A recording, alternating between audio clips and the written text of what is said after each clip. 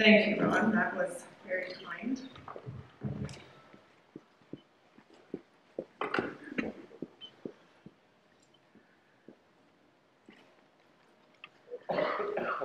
It is a great honor for me to be asked to give the Derek Eaves Lecture.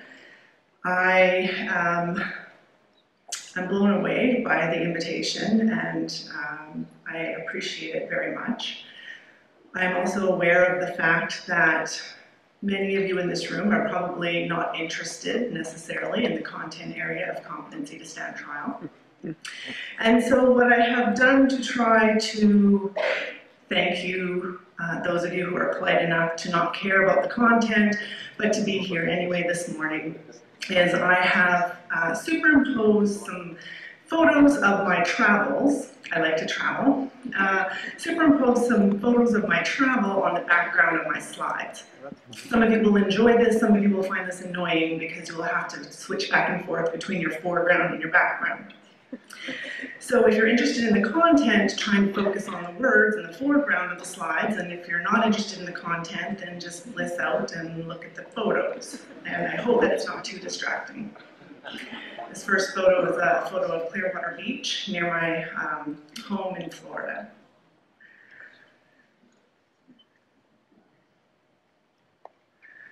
I have known Dr. Derek Eaves for 20 years and have been fortunate to have had the opportunity to work with him. I think that Dr. Eaves epitomizes uh, what it means to be a forensic mental health professional.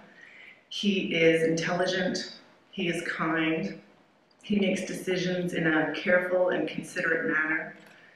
He is gentle with both his patients as well as other professionals. And perhaps most importantly, to me anyway, uh, he is very research friendly.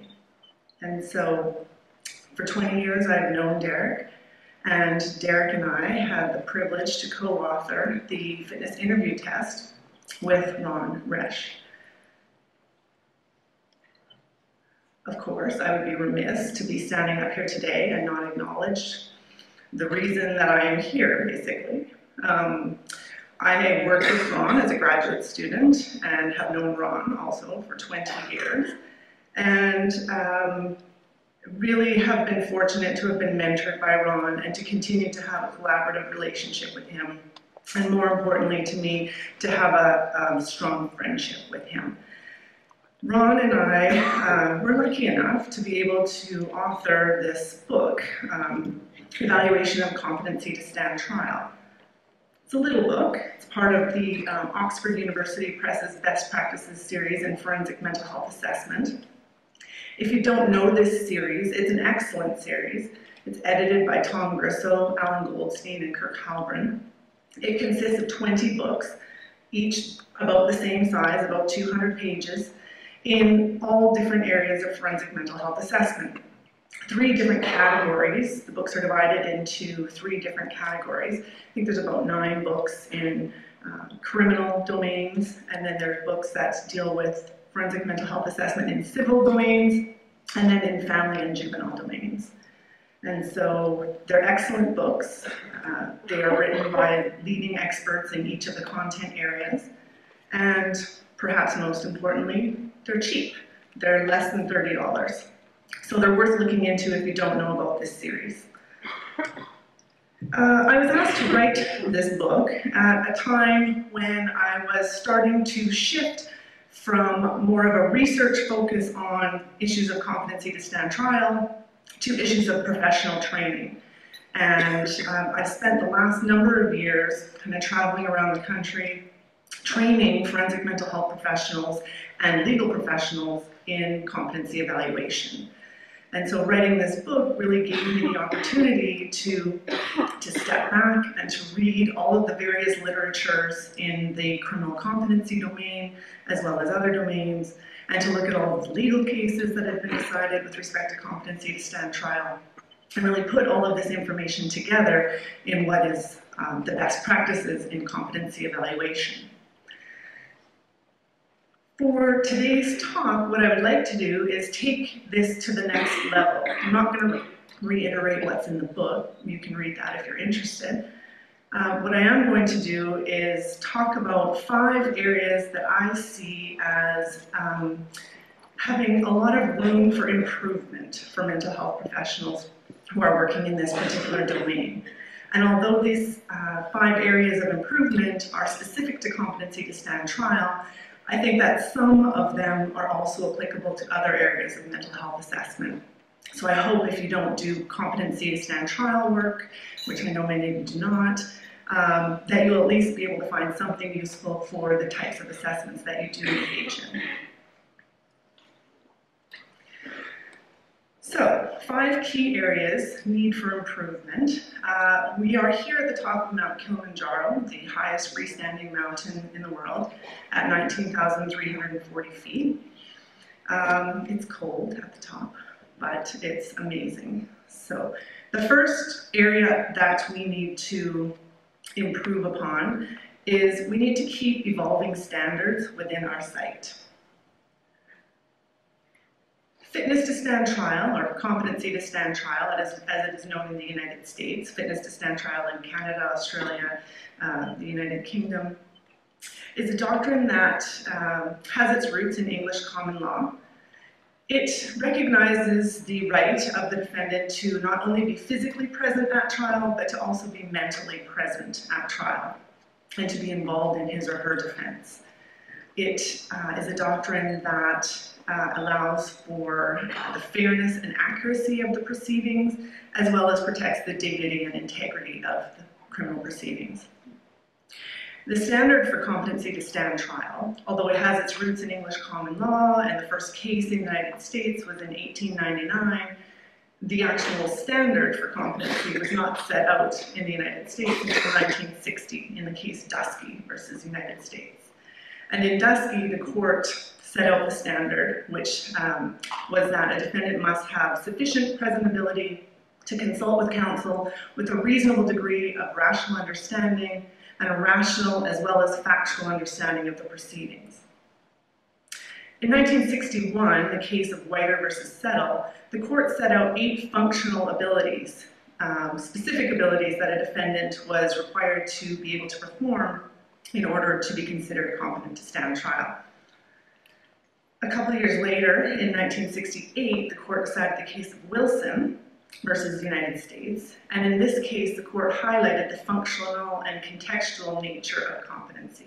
This was a case of an amnestic defendant who had no memory for the time of the crime, and so the court was making a decision as to whether or not this rendered him incompetent to stand trial.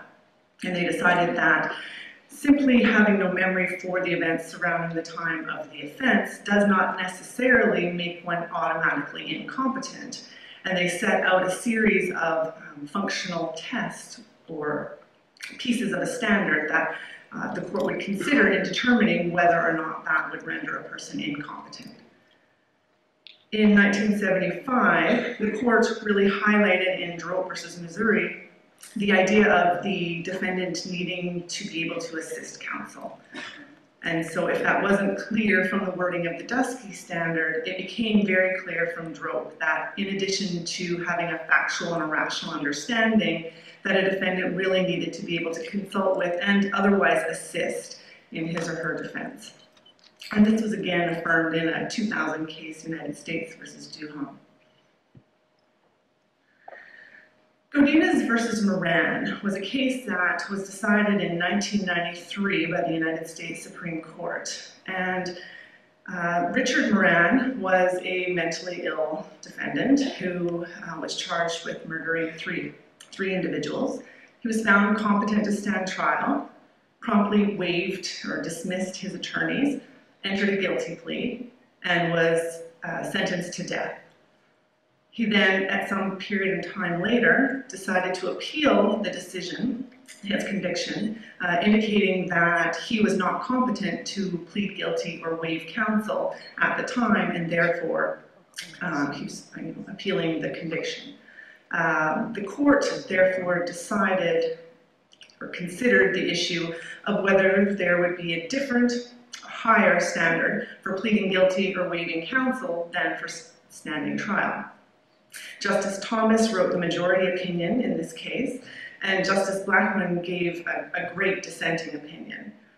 The, the substance of Justice Blackmun's dissenting opinion, the court had decided that there was to be one standard for all of these types of competencies.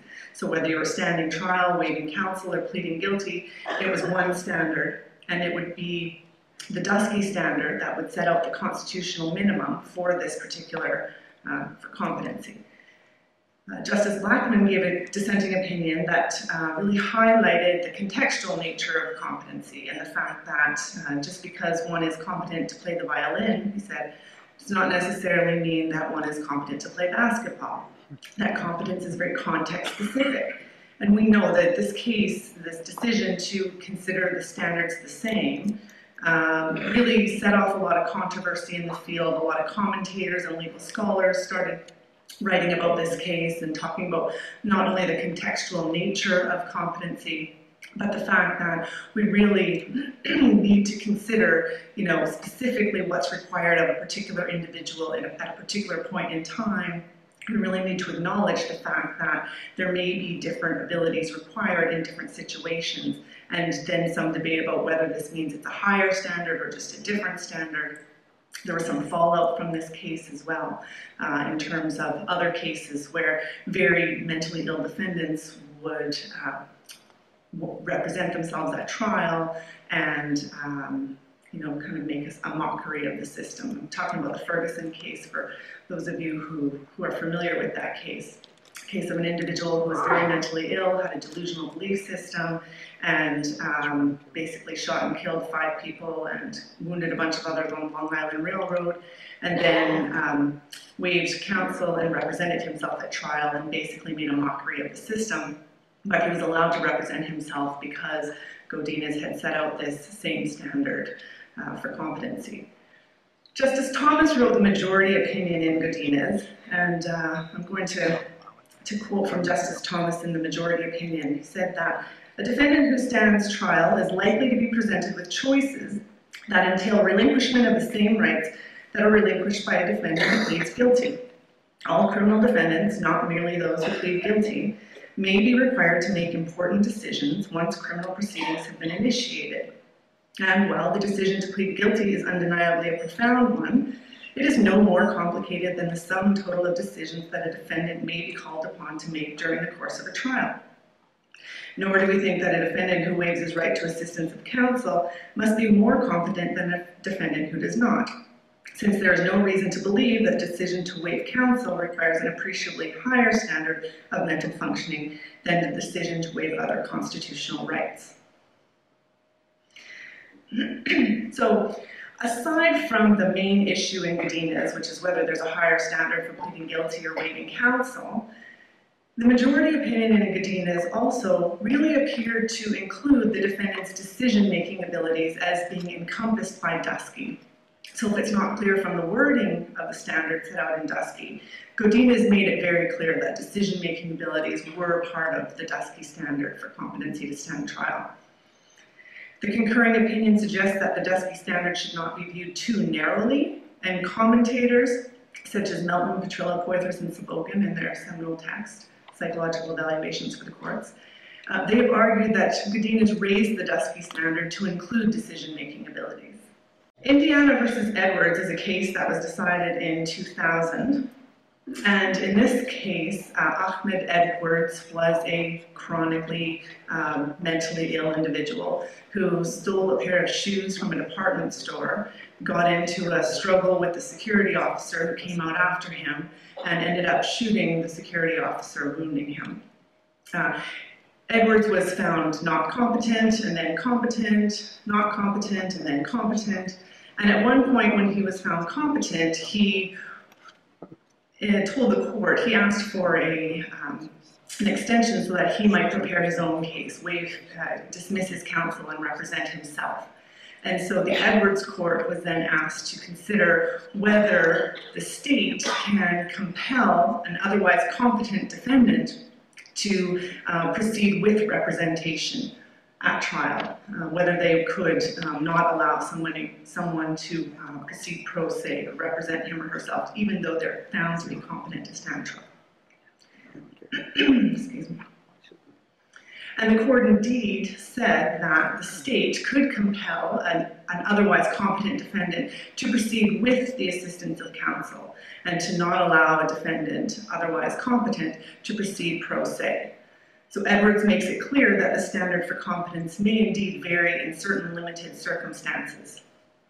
And then, of course, the court in Edwards did address the seeming inconsistency with Godinez by saying that Godinez provides no answer here because the defendant's ability to conduct a defense at trial was expressly not an issue in that case. So in Godinez, it was waiving the right to assistance of counsel, not proceeding pro se. Splitting the hairs a little bit, but different. And because the case is constitutional holding that a state may permit a gray area defendant to represent himself, does not tell a state whether it may deny such a defendant the right to represent himself at trial.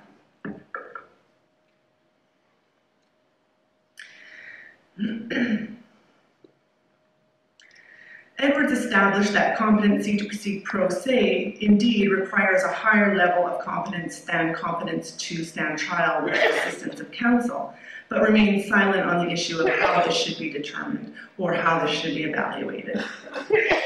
Edwards highlights and underscores the contextual nature of competency and the need for a functional evaluation to really take into consideration the specific abilities that will be required of a defendant at trial. So if we take a step back here and we look at the evolution of standard for competency from 1960 when it was first set out in Dusky to the current point in time, what we see is that evolution is a slow process. And if we're not paying close attention, we may actually miss something. Because the standards as set out and as adopted by every state in the United States um, has not really changed all that much. The wording is still the same. The wording is either dusky verbatim or very close to dusky. But in fact, when we look at the court decisions of the 60s and 70s, we see that the basic definition of competency centered on whether the accused had this combination of situational awareness and this basic ability to deal with counsel. In the 1990s and the 2000s, with the additional case law that has been added, we see that the court is now more fully describing the ingredients necessary for this interaction between the defendant and lawyer. So it really kind of gives us more information about this otherwise assist prong uh, requirement of the standard. Cooper versus Oklahoma was a 1996 case that also basically highlighted the, uh, the decision-making abilities that are required of a defendant at trial. So the US, US, Supreme Court cases from the 1990s and the 2000s are an important part of the current definition of competence. And this becomes clear when we look at secondary sources like the American Bar Association National Bench Book. And state courts have acknowledged that controlling case law from the US Supreme Court really must guide the review of inquiries at the trial level. So we see that we're getting a lot of cases that talk about competency and whether, you know, competency per se is the specific issue at, in the case, we see that in the court decisions, they really are starting to delineate more and more of the abilities required of a defendant to be considered competent to stand trial. Philipsborn is a legal scholar. I'm going to talk about a, a, a few of the things that he has said. And in 2004, he wrote an article geared toward legal professionals, lawyers and judges, um, where he warns that sources of standards for competency have not kept up. So state statutes have not really changed all that much, but certainly the interpretation of them has changed as a result of the case law that has been decided. And he says these statutory definitions exemplify part of the problem. Understanding competence to stand trial requires understanding all currently applicable law and is beyond any one basic local statutory source. So as evaluators, if we're simply looking at what the statute says, the standard is for competency to stand trial, but we're not actually considering what the case law has indicated uh, the ways in which that standard should be interpreted, we may be missing something very important. So we need to really keep evolving standards within our sight and stay on top of case law. the second area where there's room for improvement is that we need to seek out relevant and pertinent information about the proceedings. Case law and legal statute have attempted to elaborate on those specific abilities required to be considered competence to stand trial. Some states have articulated standards for competency where they've set out specific abilities that a defendant must be able to perform. the important point here is that competency is an open textured construct. It's not a bright line construct. It's not defined by a fixed set of criteria. It's very much contextual in nature. You very much need to consider the entire context when conducting an evaluation or considering the issue. Excuse me. Golding and Roesch in 1988 wrote this comment, or this statement, and I think that this has probably been cited in almost everything that has been written on competency to stand trial since that time. Mere presence of severe disturbance is only a threshold issue. It must be further demonstrated that such severe disturbance in this defendant facing these charges in light of existing evidence, anticipating the substantial effort of a particular attorney with a relationship of known characteristics results in the defendant being unable to rationally assist the attorney or to comprehend the nature of the proceedings and their likely outcome. So very much context specific depending on this particular defendant facing these particular charges being represented by this particular defense counsel. the evaluator's role in a competency evaluation is to describe for the court the degree of congruence or incongruence between the defendant's functional abilities, what he or she is able to do, and the abilities required of the defendant at trial to proceed with his or her case, or, or whatever it may be if the defendant isn't going to trial, if it's entering a guilty plea, etc. So therefore, competency cannot be assessed independent of the context of the case as evaluators, we need to find out as much information as possible about what will be expected of this particular defendant facing these particular charges in order to make the evaluation of competency, in order to be able to describe that degree of congruence or incongruence between what he or she can do and what he or she will be expected to do. Philipsborn, when he's talking about the decisions in Godinez and Cooper and the highlight of decision-making abilities and the highlighting uh, the ability of the defendant to participate actively in his or her defense and consult and communicate with counsel, basically set out an entire list of tasks that a defendant might be called upon to make during the course of their proceedings. Philipsborn also notes that um, if you look at dicta from leading cases, those are going to hold more weight with a judge than secondary sources. So then the articles that we publish or the research that we put out there or the American Bar Association bench book. So if we look at court decisions, we actually can find that there's any number, and I don't know if you can even read these, but there's any number of fairly sophisticated abilities that a defendant might be required to have at trial.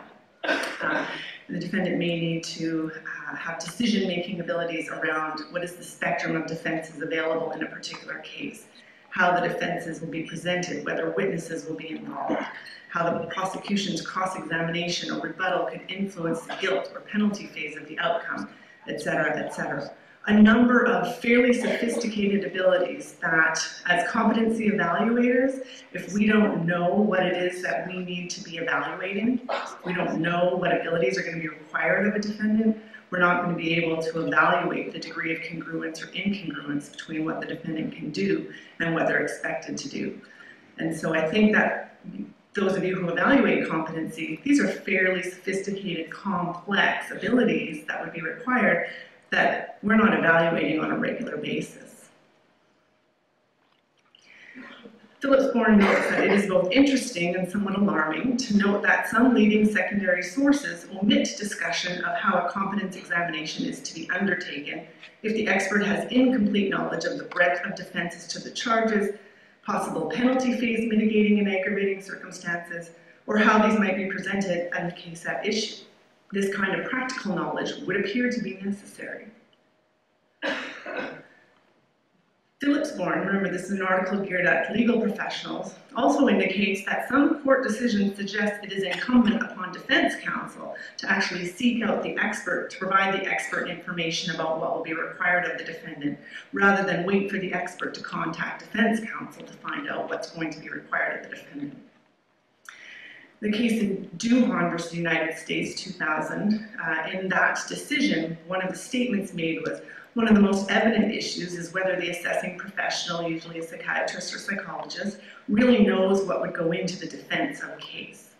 And so this highlights the need for the expert and the lawyer to work together to ensure that the expert has a full understanding of the abilities that are going to be required of the defendant so that he or she may actually make that um, evaluation of competency in light of the context of the specific case. Third point, or third area for improvement, is a focus on rational decision making. Rational decision making is the crux of competency of all types, whether we look at various criminal competencies, competency to waive Miranda, competency to plead guilty, stand trial, competency to be executed perhaps, um, medical treatment or treatment refusal, research participation, informed consent, there's a large literature on end-of-life decision-making. One of the states, Oregon in the United States, has physician-assisted suicide. So there's a large medical literature on life um, end-of-life decision-making. Various capacities for older adults. There are large literatures on testamentary capacity or financial, contractual capacity. And each of these literatures really comes down to rational decision-making as the crux for competency.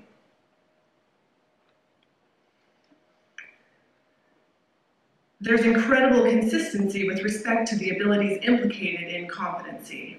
And I think that after my reading of the literatures and writing this book and in staying on top of the field, uh, in the criminal competencies literature, we really lag behind in this area. We don't talk a lot about rational decision making, some, but, but really we don't. We focus on understanding and we focus on appreciation, so rational understanding but we don't really talk about rational decision making as a model for competency. And we typically also do not draw from other literatures. We stay in our little area, we read other criminal competency literature, but we really aren't going outside of that and drawing literature from the medical field, from the end-of-life decision-making field, from the older adult, the Alzheimer's research. There's large bodies of research in other areas that are very relevant to competencies and decision-making.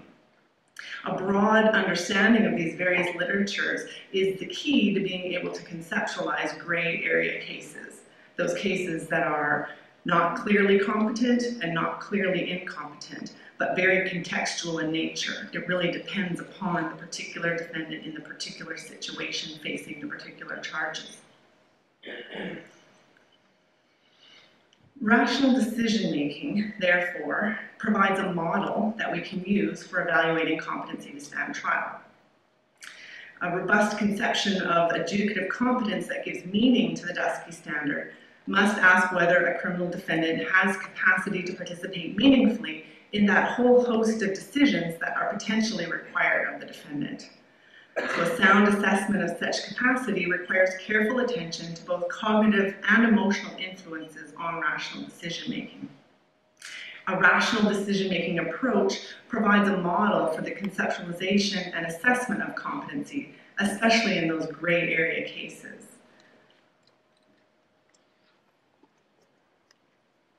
The component process of the decision-making, the components of the decision-making process in all of these various literatures basically come down to four different abilities. Um, the ability to understand relevant information, including an accurate perception of that information, which is sometimes where symptoms of psychosis may interfere with perception. Um, an assessment of the information and the ability to form appropriate beliefs about it with respect to personal involvement, sometimes called appreciation or rational understanding, the ability to take that information that you understand and apply it to your own personal case, the ability to reason about the information so as to engage in a logical process of weighing options in light of personally relevant goals, and then the ability to express conclusions to others in a coherent and consistent manner. And we know from looking at these other literatures, as well as some of the criminal competency literature, that cognition or emotion can impact any one of these component processes. it's a whole other full day workshop, but really we can go through each of these understanding, appreciation, reasoning, expressing or communicating a choice and know and see that emotion, either depression, mania, other symptoms of mental illness or cognition, thought processes, perceptions, etc., can impact any one of these four different component abilities and interfere with the rational decision-making process. We don't tend to think of this way a lot in the criminal competencies literature. Uh, the MacArthur Network developed the MacCAT, the MacArthur Competence Assessment Tool for Criminal Adjudication. And that is a, forensic assessment instrument, a competency assessment, assessment instrument that actually speaks to these specific abilities and this decision-making model. And they drew from the literature on treatment decision-making. And so we, they talk about understanding, appreciation, reasoning, and expressing a choice, and provide some way to evaluate a defendant's abilities along those four, um, that continuum. But aside from the MacArthur Network and some recent work being done, we're, we're not thinking a lot about rational decision making as a model for competency. And so I think that that is something that uh, we definitely have need for improvement. Dusky standard, um, as I think is clear from the case law that has been discussed, really embraces a requirement of decisional competence. So the defendant must have the ability to make, communicate, and implement minimally rational and self-protective choices within the unique context of his or her criminal case. So a fine-grained analysis of competence then would seek to articulate precisely where in that decision-making process the defendant has gone astray and to explain why those deficits implicate the ability to represent one's own interests within a criminal proceeding.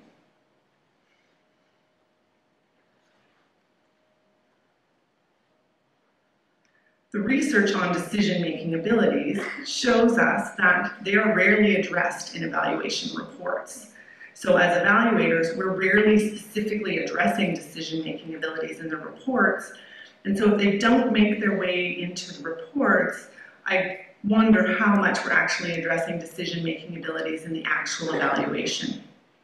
So research done in 1995 by LaFortune and Nicholson um, of seven functional abilities, it was only the defendant's understanding of the charge that was described in the majority of competency reports. Contextually relevant decisional abilities, such as an appreciation of the plea bargaining process, were rarely addressed in these reports. Jennifer Skeem and her colleagues in 1998 did some work where they were looking at content of competency evaluation reports, and they also found that Certain abilities that were important and relevant to competencies, such as decision-making abilities, were rarely addressed by evaluators in their reports.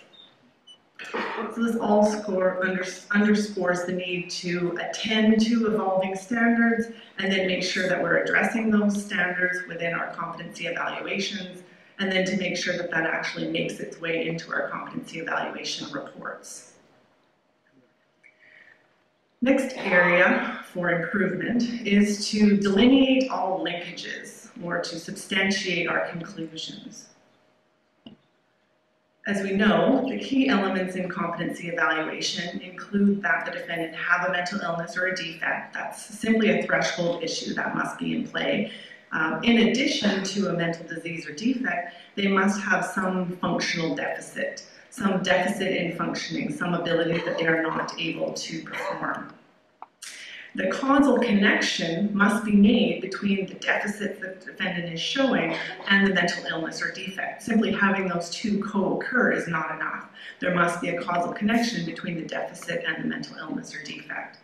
And so in our reports, we need to describe that causal connection. We also need to establish the linkage between the functional deficits and the functioning at trial. So the, the functional deficits, the, the, the, functioning of the individual, and what he or she will be expected to perform at trial.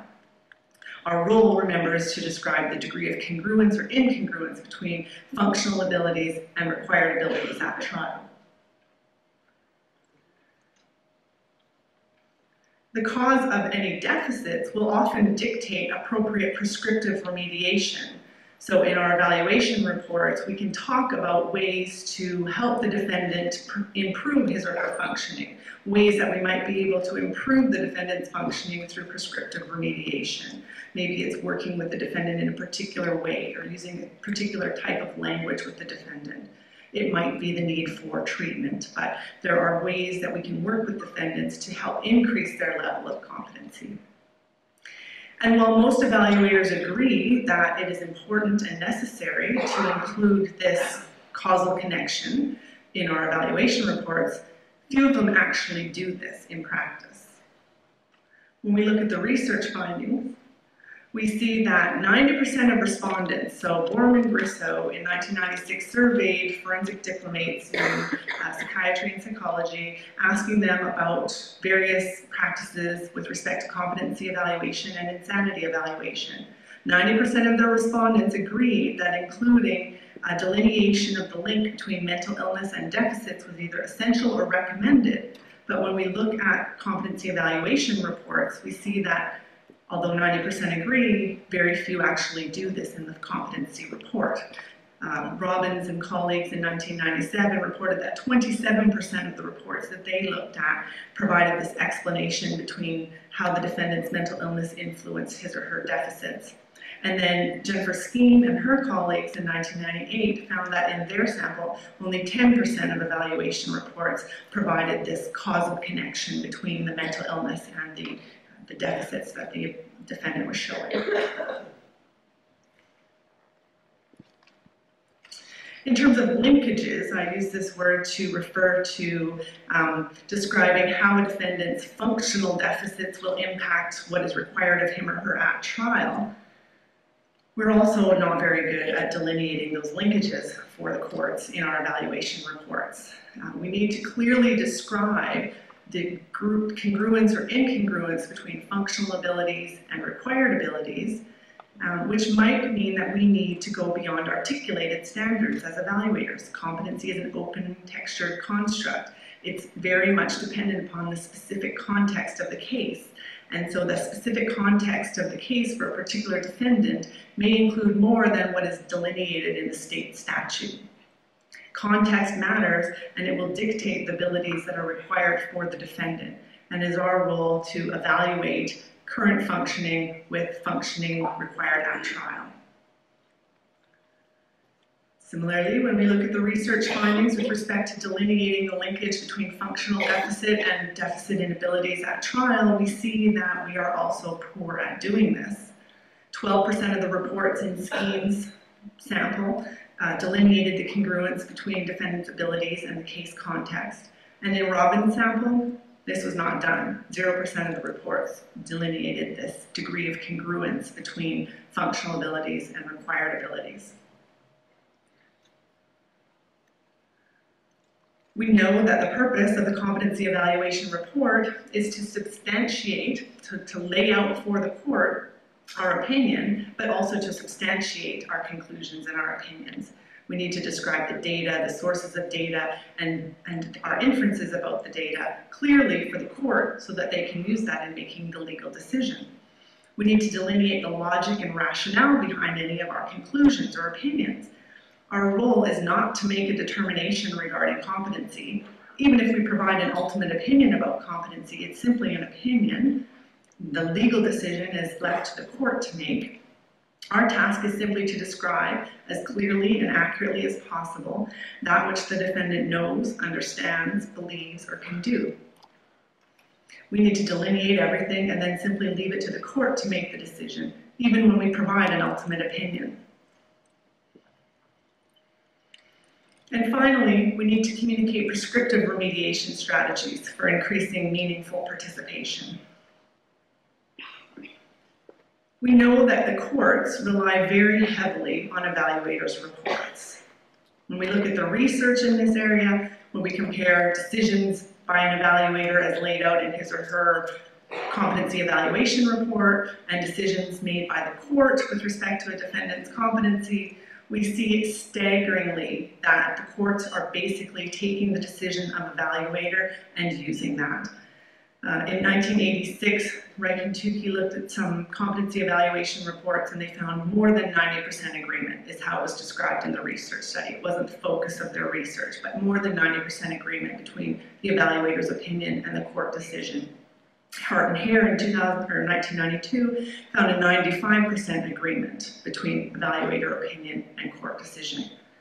In some research that I did with some of my students at the University of Alabama, we looked at 406 evaluation reports and compared them to the uh, ultimate decision determination by the court.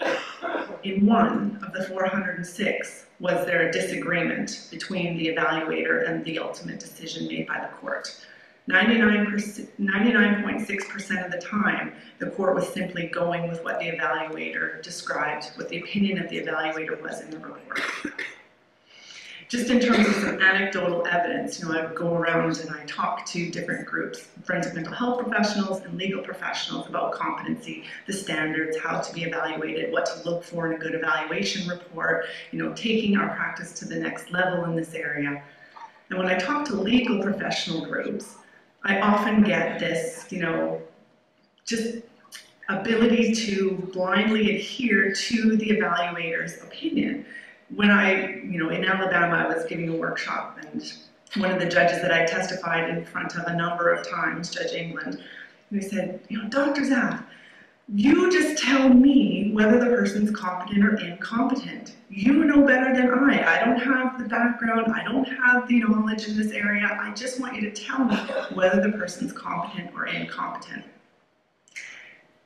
So legal professionals are really relying on us to help them make their determinations. And I think that this means it is really important for us to make sure that we are doing a good job in our competency evaluations that we are accurately and adequately assessing what is required of a defendant, and that we are laying out the bases for our opinions in the evaluation report so that those professionals, legal professionals, can actually understand the reasoning and the rationale behind our decisions. When we look at research, um, and common report deficiencies, we see that all of these areas are deficiencies in our evaluation reports. A lot of times we lack substantiation of conclusions. We're not great about detailing the linkages between the mental illness and the psycholegal abilities required, and then the functional abilities and the particular abilities at trial. We don't substantiate our conclusions. We're not great about writing the specific bases for our opinion. We rarely address that causal connection between mental illness and deficits. We almost never address the degree of congruence between functional abilities and the abilities that are required to proceed. And we rarely address decision-making abilities, even though it is clearly part of the standard for competency to stand trial. And then in terms of prescriptive remediation, we also don't do this very well. We're mental health professionals. We have some ideas about how we might be able to improve the functioning of a defendant with mental illness, but we don't go there in our evaluation reports, even when it's statutorily required. So again, in Alabama, some students and I were doing this research on these 406 evaluation reports, and in Alabama, they have a statute that, like many states, when the opinion is that a defendant is incompetent to stand trial, the evaluator must then delineate a number of other uh, pieces of information. What's the reason for the incompetence? Uh, what's the likelihood it can be treated? Where should it be treated? How long will it take to be treated? Even when that information is statutorily required to be included in the evaluation report, it's often not. And so many statutes don't require us to provide prescriptive remediation when it's a, you know, a marginal case. Very often it comes down to a conditional. If this is the situation, then the defendant may actually not have this particular ability. If that is the situation, they may be able to perform what is necessary at trial. So it's okay for us to take it a step beyond and to include prescriptive remediation in our reports, but we often don't. to summarize, we have room for improvement in this field. Uh, we have five key areas where we're lacking right now and we really need to to take our practice to the next level. We need to keep the evolving standards within sight. We need to seek out pertinent and relevant information about the proceedings so that we can accurately and adequately describe the degree of congruence between the functional abilities and the abilities that are required at trial. We need to focus more on rational decision making, and I think we probably need to conduct more research and commentary in this particular area in the criminal competency domain and pull in from other literatures. We need to delineate all the linkages and substantiate our conclusions in the reports so that legal professionals for whom we are writing these reports to assist in making the legal determination actually can find our reports useful and helpful and understand the bases for the conclusions and opinions that we come to. And we need to communicate prescriptive remediation strategies, ways that a defendant might be able to increase his or her functioning, maybe as simple as communicating in short and simple sentences to a defendant who has a difficult time understanding.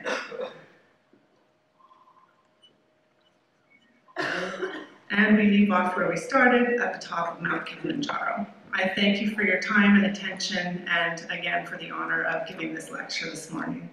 Thank you.